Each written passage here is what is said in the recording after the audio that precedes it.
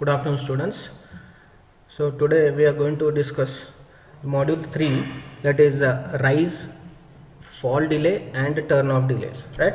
So first let us understand uh, what are these delays. Delay is nothing but a time right. So a gate delay uh, what we are going to discuss in this uh, topic is we are going to discuss the different gate delays right associated with the different gates right. So you take any of the logical gates and or whichever logic you, uh, logic gate you take it has some uh, propagation delay. That means whenever the input is applied uh, the the time between the application of an input and getting the output right? The time delay between application of an input and getting the output is nothing but the propagation delay right? So it takes some time to propagate from input to uh, output right? That is the data. The data will take some time to propagate from input to output that is nothing but the propagation delay right? So the those three delay uh, the propagation delay is divided into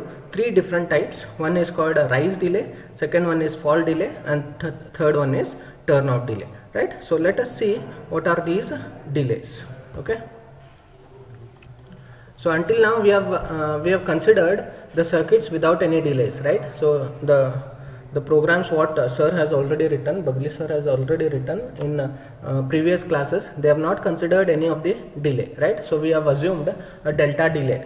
Whenever the particular uh, boolean expression is executed right it will take a very certain delay and which is very very little right? So you can even you can uh, you can ignore that delay right? So it is in terms of nanoseconds or microseconds right?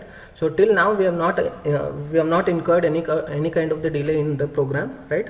But now we will uh, introduce delay right? And how the uh, how the output will change uh, according to that delay that we will see. And whenever the input changes what happens to output? Output will also change but at what time that output changes that we will see from uh, today's class okay so until now we have not considered any of the delays. So in real circuits the logic gates have delays associated with them right? So so i already told what do you mean by the propagation delay? It's a delay or it is the time taken by the data to travel from input to output. Is nothing but the propagation delay right? And gate delays allow the verilog user to specify delays through the logic circuits. Then pin to pin delays can also be specified in verilog right? So uh, once i discuss the uh, the uh, the example with the help of a simulation you will come to know what are the gate delays and pin to pin delays right? Pin to pin delays actually you will see in the hardware right? So in software we are going to see the gate delays right? So there are three types of delays from the inputs to the output of a primitive gate. So if you take any of the gate any of the logic circuit or any of the analog device also you, you, you take it has certain delay right? So as soon as you change the input the output will not change. It even though it seems even though it seems uh, to be changed at the same time right? So as soon as you apply the input the output will change but it is practically it is not so. Uh, it will take a certain delay. That delay might be in terms of microsecond nanoseconds or whatever may be. But there will be a certain delay associated with the output. Whenever you apply the input uh, output will change after a certain delay right? So but uh, pin to pin delay can be observed in the hardware right? Uh, using a multimeter and or CRO you can uh, use right? But in case of uh, gate delays we can also verify gate delays uh, using CRO or multimeter and using software as well right? So in today's class we will discuss how how that uh, uh, different delays can be measured uh, with the help of a software. The first one the rise delay. The name itself tells whenever the whenever the output changes from whenever the output changes from one point to another point right? So what time it takes right? Whether it is rising whether it is changing from 0 to 1 or whether it is changing from 1 to 0 right so when it changes from 0 to 1 we will get a rise time or a rise uh, what you can say uh, the transition rise, rise transition you can say or a low to high transition you can say and what time it takes to change from this low value to high value. So that delay is nothing but the rise delay right? And whenever the output changes from 1 to 0 now the transition is from high to low which we call it as high to low transition and the time taken by the output uh, from uh, time taken by the output to change from the high value to low value is nothing but the fall delay right? So and we have one more delay which we call it as turn off delay that we will see later okay? First we will discuss what is rise delay. The rise delay is associated with the gate output transition to uh, 1 from any other value. So here i have taken only 0 right? So uh, sir has already discussed in the first module there are uh, different levels of the output. So here i'll take uh, 1 0 x z. Actually we have uh, nine different values but here i am taking only uh, four different values 1 0 x and z. 1 is logical high 0 is logical low uh, x is don't care and z is high impedance state. Okay so whenever whenever the output changes from whenever output changes from 0 to any of these two three values any of these three values not only one right? So when whenever 0 changes to whenever 0 changes to either 1 or x or z right? So the time taken by the output to change from 0 to 1 x z is called a rise delay right? So in the uh, sorry so sorry I, I, I made a mistake I made a mistake. Uh, it is not from 0 to 1 x z it is from 0 comma x comma z. In the diagram you can see I made a mistake I beg your pardon okay? Uh, whenever the value whatever may be the input value whatever may be the initial value it may be either 0 or x or z whenever it changes from those three values to 1 then that particular uh, delay is called a rise delay. So in the diagram you can see so input initial value of uh, the output is 0 x or z and finally it is changing to uh, final value which is logical high right? So the time taken by the signal to change from this initial value to final value that is 1 is called the rise delay right? So here you can observe it is not a sudden transition. This is not like a straight line right? So you will have a certain slope that means it will take it will take certain time to change from initial value value to final value right so if this is the case then i can call it as an ideal case I can call it as ideal case when there is a sudden transition from uh, initial value to final value. But in practical case, in practically, practically we will observe a certain time difference between the final value and the initial value, right? So that is nothing but the rise delay, right? Next, the fall delay. The fall delay is associated with the gate output transition to a zero from another value another value again we will take here as initial value will be equal to 1 x or z right so these three are the initial values and now the uh, delay is fall that means the output has to fall from those values to 0 right so what is the time taken by this uh, signal? To change from these three levels to 0 is nothing but t fall right? So uh, ideally i can represent it as ideally I can represent it as like this right? So here initially it has 1 and uh, finally it has 0 and this is a sudden transition between 1 and 0 but this is present in ideal case but practically it will be having certain uh, delay which we call it as a fall delay okay? So I hope you are uh, understanding the concepts.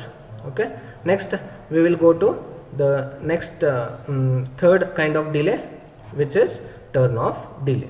Right? So here in the turn off delay the next one is the turn off delay. Turn off delay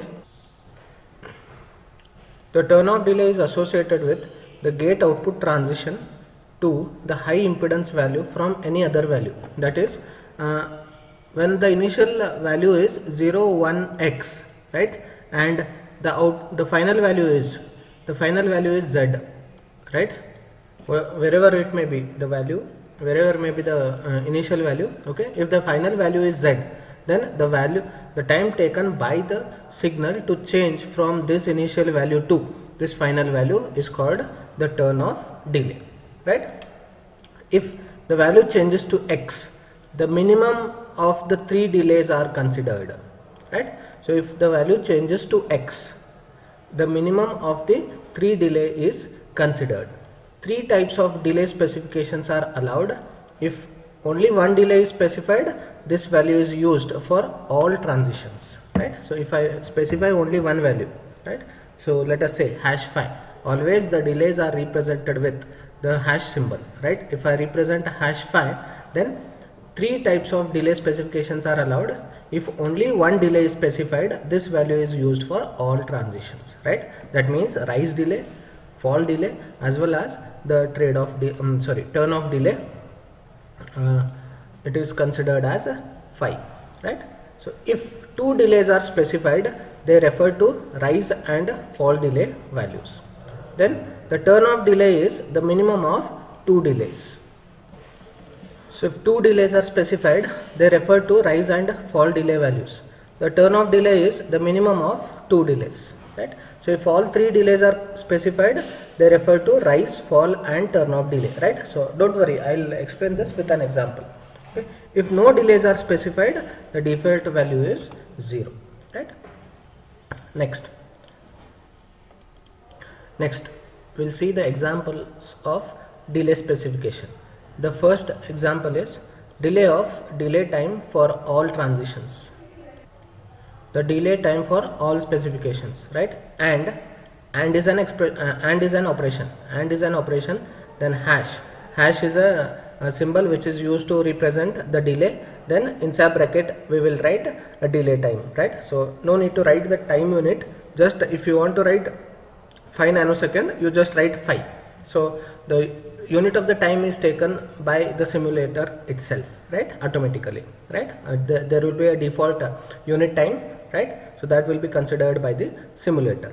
Then a1 is an instance name and output is out i1 and i2 are uh, two inputs right? So these uh, statement i will not explain because uh, sir has already explained in uh, second module right? Next rise and fall delay specifications. If i represent two different delays one is uh, rise underscore val then fall underscore val. For example let us say hash inside bracket if I write 5 comma 6 then the first delay is considered as rise delay then the second considered as a fall delay.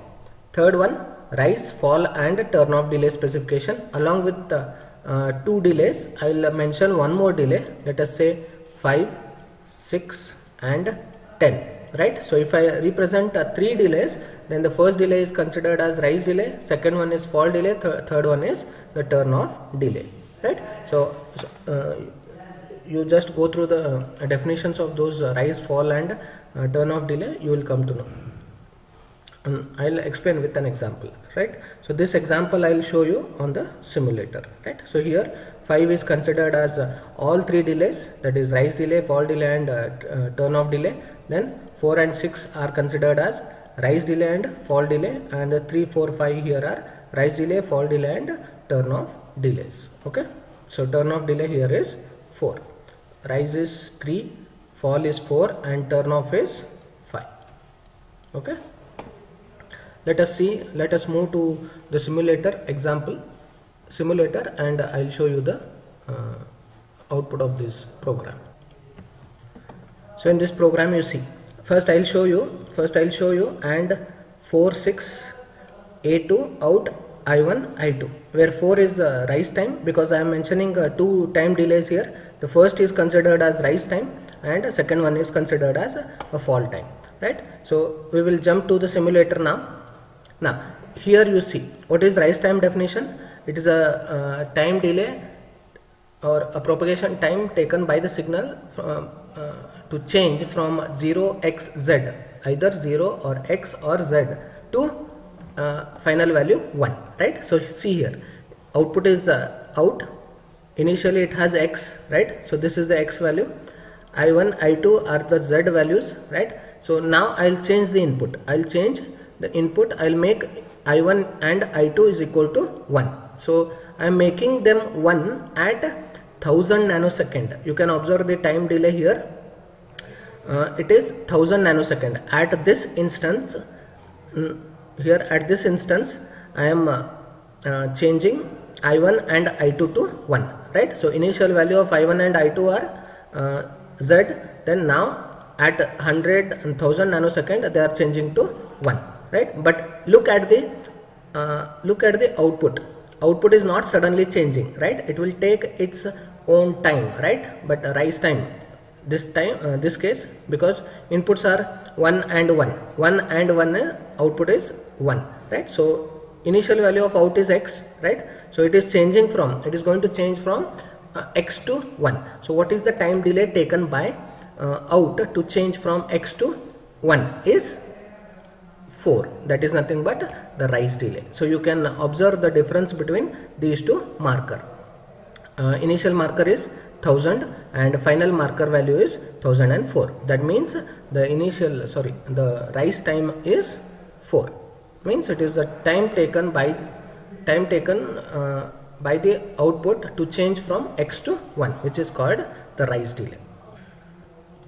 Similarly you see the fall delay. So here at this instance at the at 2000 nanosecond i am making i1 is equal to 0 0 and anything is 0 right? So if any one of the input is 0 for AND gate output is 0 right? So here I will not changing the value of I2 I2 is Z but I1 is 0 if any one of the input is 0 for AND gate output is 0 but look at the output. At what time is it changing? Is it changing at 2000 nanosecond? No. It is taking its own time right? So what is that time? Is 200 2006 that means if you observe the difference between these two markers then you will say that the fall delay is uh, 6 nanosecond right? So what is the time unit here? It is automatically taken by the simulator which is in terms of nanosecond right? So fall delay right? The time taken by the output signal to change from any of the value 0 1 sorry 1 x or z to 0 is called uh, fall delay and fall delay in the in the program it is mentioned that 6 nanosecond so here you observe the output is z uh, sorry the output is x right? So when i mention two delays the rise time and the fall time right? So in the example you see uh, in this here right? So i'm not talking about tur uh, turn off delay here because uh, i'm not getting for what input values the output is equal to z. Because to show you the turn off value uh, the output should be z right? So i'm not getting the particular input values. Let me discuss in the next class okay?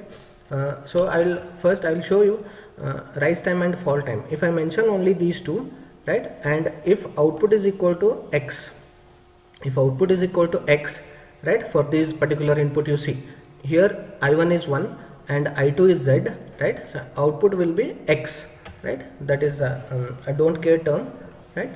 So in that case what is the value taken by the simulator right? So it will choose one of the value from 3 and 4 right? So which value will be chosen? Because the definition in the uh, uh, definition of turn off delay you see the turn off delay is here you see this this point.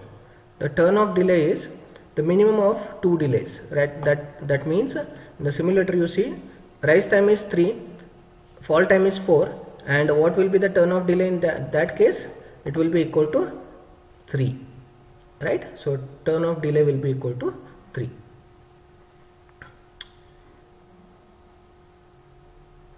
right? Because what is turn off delay? From the definition of turn off uh, turn off delay sorry. It is not that uh, is associated with transition. Wait. So this I am asking. This I am explaining. Right? So that is if the value changes to x the minimum of three delays is considered. So in the minimum of the three delays what which is the minimum value here? Out of these three delays 3 is the minimum value. So that will be considered as a, a turn off delay. Right? So here it is uh, 3 3000 nanosecond and here it is 3003 nanosecond. You observe the difference. The difference is 3 nanosecond. So this uh, delay can be considered as a, what? A turn off delay right? So let me check for what input values the output will become z so so that i can explain you the turn off delay properly okay? Let me check in in the next class and and in the next class i will explain you that turn off delay right with an example we will take the same example and I'll explain the uh, turn off delay. Okay? So today's class this is it. Okay? Thank you